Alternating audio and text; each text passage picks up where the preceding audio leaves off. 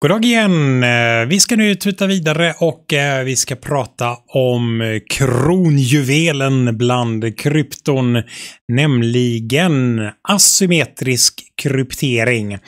Vi har ju pratat om symmetrisk kryptering. Eh, AES är ett exempel på en symmetrisk krypteringsalgoritm och vi ska nu prata lite grann om asymmetriska krypteringsalgoritmer. Asymmetrisk kryptering, det är en typ av kryptering där vi använder ett nyckelpar. Vi har en öppen nyckel, eller en public key, och vi har en hemlig nyckel, eller en private key. När vi skapar oss nycklar så skapar vi en publik nyckel och en privat nyckel. Ett eh, meddelande som krypteras med den här eh, public key kan vi dekryptera med private key. Och vice versa, ett meddelande som vi krypterar med private key kan låsas upp med hjälp av public key. De här två nycklarna, de här publika och, förlåt, de här publika och eh, privata nyckeln, de hänger matematiskt ihop. Den ena låser upp den andra. Så, när vi ska kryptera någonting med hjälp av asymmetrisk kryptering så har jag en nyckel för att kryptera ett meddelande och en annan nyckel för att dekryptera ett meddelande. Alla ingående människor så att säga i det här äh, asymmetriska systemet eh, har publika och privata nycklar. Så alla människor har publika och privata nyckel. Om jag vill skicka ett hemligt meddelande till eh, eh, någon så tar jag någons publika nyckel och krypterar mitt meddelande med. Eh, när det här meddelandet kommer fram så är det bara den privata nyckeln som mottagaren har som man kan låsa upp meddelandet med. Vi knyter så att de här publika och privata nyckeln hänger ihop matematiskt. Den ena kan låsa upp den andra. Så. Vi kan använda naturligtvis det här för autentisering också. Om jag vill prata ostört med någon så kan jag autentisera någon genom att helt enkelt ta, för alla ingående parter har privata och publika nycklar. Som vi ser i mitten av bilden här uppe så har vi ett repository. Det är någon tredje part som alla litar på och det vi gör är att vi ger vårt repository alla ingående parters publika nycklar. Den ena nyckeln var publik, den ger vi till alla möjliga som vill ha den. Den andra är privat och den lägger vi i bakfickan, den behåller vi för oss själva. Den ena låser upp den andra. Vi har ett repository här och repositoriet innehåller publika nycklar till alla individer som ingår i det här samspelet. Om jag vill skicka ett hemligt meddelande till en mottagare så tar jag reda på den publika nyckeln till mottagaren och skickar mitt meddelande. Eller som i det här fallet om jag ska autentisera ett meddelande. Så tar jag min privata nyckel och eh, använder min privata nyckel för att kryptera meddelandet med och skicka över. Mottagaren måste nu använda sin, eller förlåt, mottagaren måste nu använda min publika nyckel för att låsa upp meddelandet med. Om meddelandet går att låsa upp med min publika nyckel så vet mottagaren att det är bara den här avsändaren som kunde skicka det. Därför att den här avsändaren använde den privata nyckeln för att låsa meddelandet. Så om jag kan låsa upp meddelandet så görs det med hjälp av korrekts avsändare publika nyckeln. Det här är lite magi. Faktum är att det här är ganska mycket magi. Eh, fast inte alls. Tanken är att matematiken bakom det här är faktiskt tämligen enkel. Jag vill ge en liten introduktion till mina absolut största hjältar som promenerat denna yta. Diffie och Hellman. Whitfield Diffie till vänster i bild och Martin Hellman till höger i bild. De två var de som uppfann det här med asymmetrisk kryptering. Jag vill, jag vill att ni sätter er in i lite grann hur stort det här är. Asymmetrisk kryptering handlar om att kunna överföra en hemlighet över en osäker kanal. Jag ska via P3 liksom kunna berätta en hemlighet och bara rätt mottagare kan förstå det här. Det här är jättestort. Eh, vi pratade om Enigma-maskinen tidigare idag.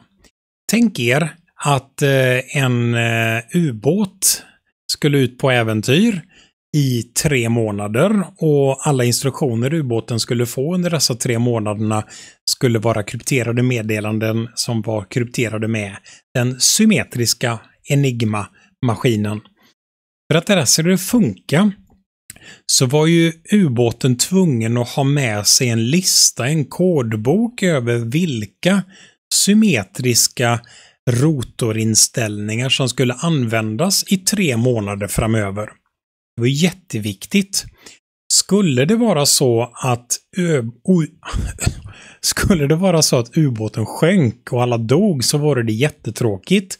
Men om någon skulle få tag i den här kodboken så vore det fruktansvärt mycket värre. Kodboken innehåller all kodad meddelande, nyckeln för att låsa upp alla kodade meddelanden i tre månader framöver exempelvis. Så den här kodboken, den höll man hårt i. Att ge symmetriska nyckeln till mottagaren på ett säkert sätt har varit ett problem i tusentals år. Dessa två herrar presenterade ett paper som heter New Directions in Cryptography. Ska ni läsa ett paper så ska det vara New Directions in Cryptography tycker jag. Det är ett fantastiskt paper. Otroligt stort paper. Jag vet få paper som har på någonsin har haft så stor inverkan som New Directions in Cryptography. På alla ställen så presenterades det här paperet i september 1976 på en konferens i Blekinge. Och det Diffie och Hellman producerade och presenterade i det här paperet var ett sätt där man kan göra ett nyckelutbyte, ett praktiskt sätt att genomföra ett nyckelutbyte på ett sätt där vi kan distribuera nycklar över en osäker kanal.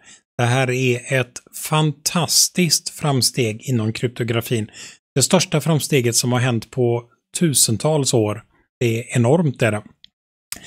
Eh, det de presenterade var ett sätt att kunna överföra och det här presenterades i form av en formel på ett tämligen enkelt sätt. Så här fungerar det hela. Det här är essensen av det de kom fram till. Avsändare och mottagare beräknar fram privata och publika nycklar och skickar över siffror som är vissa beräkningar de har gjort. Eh, hela grejen bygger på att eh, om vi tar ett tal upphöjt i ett tal gånger ett annat tal så blir det samma. Det som vi upphöjer talet i, det blir samma liksom. A gånger B blir samma sak som B gånger A och det är i princip det det bygger på det här. Jag tänkte vi skulle ta och kika på ett litet exempel där vi faktiskt ska kryptera någonting med hjälp av symmetrisk kryptering.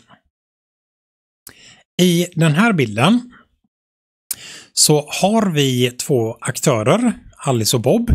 De kommer gemensamt fram att vi vill använda två stycken tal och det här ska inte vara vilka tal som helst, det ska vara primtal. Anledningen till att vi vill ha primtal är att primtal är ju bara delbara med antingen talet 1 eller talet sig självt. Eh, vi vill inte ha tal som icke är primtal därför att då funkar inte det här. Då kan vi, det kan bli att antingen så är det den här nyckeln eller den här nyckeln. Så det funkar inte. Vi måste ha primtal, det är bara de som fungerar ihop med det här. Vi väljer två stycken tal, 23 och 3 kommer vi gemensamt fram till. Sedan så tar Alice och väljer en hemlig siffra. 6 väljer Alice. Bob väljer en hemlig siffra, nummer 15. Eh, sedan så tar Alice och beräknar G upphöjt till A modulo P. Räkna fram och få fram siffran nummer 16. Den här siffran 16 skickar Bob över till Alice, eller förlåt, Alice har räknat fram 16 och skickar över 16 till Bob.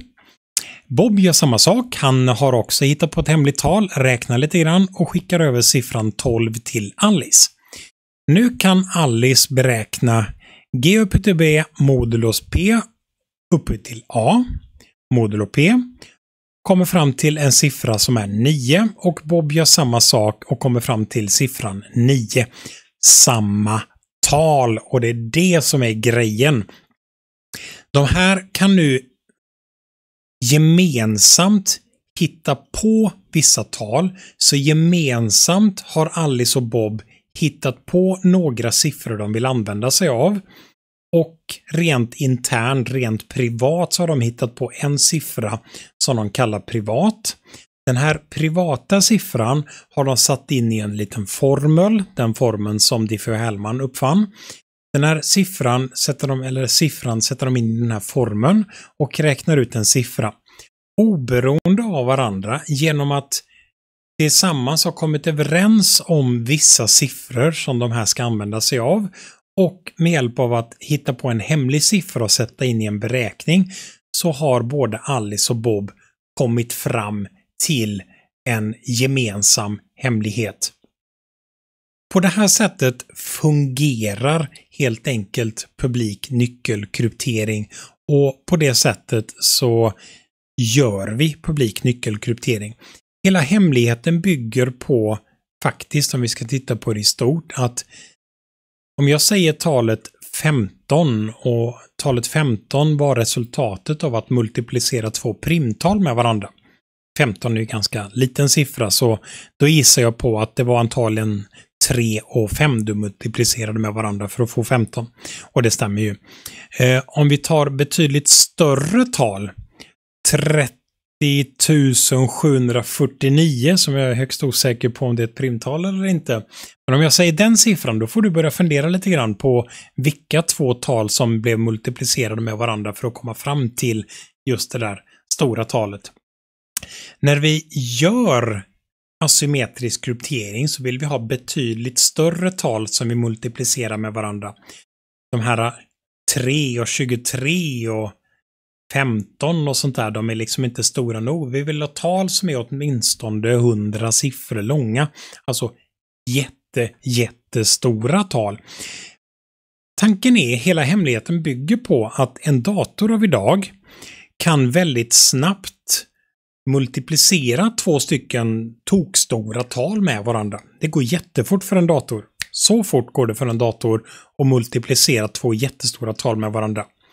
Att däremot låta en dator komma fram till vilka två tal var det som användes för att multiplicera och få fram det där stora talet. Att, att faktorisera det här stora talet i två stycken faktorer, att få fram vilka två tal det användes för att göra den här multiplikationen, det tar jättelång tid. Teoretiskt tar det oändligt lång tid att faktorisera de här två talen utifrån ett stort tal. Och det är det som hela hemligheten bygger på. Det är det som all asymmetrisk kryptering använder sig av. Det tar lång tid för en dator att komma fram till vilka två tal som kan ge den här. Nu finns det ju genvägar. Vi kan till exempel använda oss av Euklides algoritm och så vidare. Eh, greatest common divisor och så vidare för att på ett smidigare sätt komma fram till huruvida ett tal är ett primtal eller inte. Vi vet ju om att det är två primtal som man har multiplicerat med varandra. Eh, det finns olika sätt vi kan använda oss av för att få reda på vilket är nästkommande primtal. Eh, nu ska jag inte tråka ut er med mer matte än vad nöden kräver. Eh, jag tycker jag har redan tråkat ut er tillräckligt med matte. Men det är jättespännande. Jättespännande matte bakom eh, det här. Eh, den där tar jag och hoppar över. Ni har fått tillräckligt med matte känner jag. Så vi studsar över den där. Så. Asymmetriska algoritmer. Som vi har kommit fram till tidigare så använder jag en nyckel för att kryptera meddelanden med. Och kompisnyckeln, den publika nyckeln, använder jag för att dekryptera meddelanden med. Eller tvärtom. Asymmetriska skiffer är någonting som vi använder oss av hela tiden. Jag skulle gissa på att eh, före du har gått och lagt dig ikväll har du antagligen använt dig av 200 stycken asymmetriska nycklar. Varje gång du gör någonting på internet till exempel så utbyter webbservern och webbklienten asymmetriska nycklar med varandra. Det här är någonting som vi som användare inte behöver tänka på. Det är någonting som OSI-lagrarna i den övre skaran behöver tänka på. Så du som användare behöver aldrig fundera på det här med asymmetriska och symmetriska nycklar. Det ligger mot en motor i ditt operativsystem vars enda uppgift är att räkna fram kryptografiska Eh, meddelanden och kryptera och dekryptera de där. Så det där är ingenting du behöver tänka på på det stora hela. Men eh, bara så att, eh, så att ni får lite koll på det där. Kryptering av alla dess slag använder du hela tiden. Eh, ta en sån sak som att skicka en bild med Snapchat till exempel till någon. Det är jättemycket kryptering och utbyte av nycklar som, som faktiskt händer däremellan. Eh, du som användare behöver aldrig däremot veta om det där, men eh, det kan vara bra att veta om i alla fall, att det, att det sker bakom ytan så att säga. Om vi använder oss av publik nyckel och privat nyckel ihop så får vi konfidentialitet. Publik och privat nyckel hänger matematiskt ihop, den ena låser upp den andra. Om vi kombinerar de här nycklarna med varandra så vet jag att vi kan ha rätt avsändare och rätt mottagare. Men i alla fall till att börja med, om vi har en publik nyckel och en privat nyckel, då har vi konfidentialitet. Då skyddar vi meddelandet. Obehöriga kan inte läsa vårt meddelande. Om vi vänder på steken och har en privat nyckel och en publik nyckel, vi krypterar med den privata nyckeln och eh, låter mottagaren dekryptera med den publika nyckeln, då får vi autentisering. Det vill säga mottagaren vet vem den pratar med. Om vi vill kombinera de där två, det vill säga att jag tar mitt meddelande, krypterar det med min privata nyckel, krypterade där med mottagarens publika nyckel. Då kan vi skicka över klumpen. Mottagaren tar klumpen, använder min publika nyckel för att dekryptera första lagret. Zip. Sedan använder mottagaren sin privata nyckel för att dekryptera inre lagret. Zip. Då har vi meddelandet. Då har vi en situation där avsändaren och mottagaren kan lita på varandra. Avsändaren vet att bara rätt mottagare kommer att kunna läsa det här. Det är bara rätt mottagare som har den privata nyckeln till mottagaren. Mottagaren å andra sidan vet att det här kommer från rätt person. Därför att det är bara rätt person som skulle kunna ha använt sin privata nyckel för att kryptera det här inre lagret med. Så kombinerar vi den publika och privata nyckeln och vad ska man säga? dubbelkrypterar ett meddelande, då får vi både konfidentialitet och integritet på meddelandet.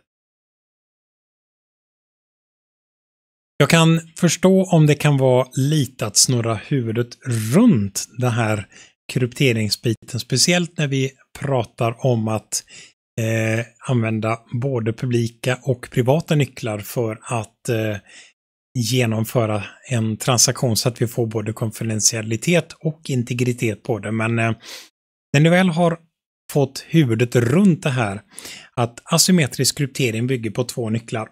Den ena nyckeln är min privata och den andra är min publika. Den publika ger jag till alla jag känner. Jag skriver med den i mina julkort, jag lägger den på Facebook, jag fotar den och lägger på Insta. Jag vill dela med mig av min publika nyckel till alla. Helst, för alla som har min publika nyckel kan skicka hemliga meddelanden till mig och vice versa. Så, eh, om vi ska skicka ett meddelande asymmetriskt så tar jag helt enkelt mottagarens publika nyckel och krypterar mitt meddelande med mottagarens publika nyckel. Och när jag tar emot ett meddelande så använder jag någon annans publika nyckel. Den publika finns ju för alla att tillgå. Så använder jag mottagarens publika nyckel för att kryptera meddelandet och då vet jag att det här meddelandet kommer från rätt person. Sådär, det där var en liten, eh, det var en rejäl genomkörare i hur eh, asymmetrisk eh, kryptering fungerar. Eh, asymmetrisk kryptering är eh, en jättegrej. Eh, Diffie och Hellman Blekinge, september 76. Paperet heter New Directions in Cryptography och eh, eftersom jag har tillgång till bibliotek och så vidare, ladda gärna hem och läs den. Fantastiskt bra paper som var fullständigt, slog fullständigt oss på fötter när, när det kom. En historisk grej verkligen. Eh, det som vi verkligen använder för givet idag. Det är ju någon som har uppfunnit det där. Paperet heter New Directions in Cryptography. Nu har jag sagt det sju gånger. Titta gärna på det paperet. Tack för mig.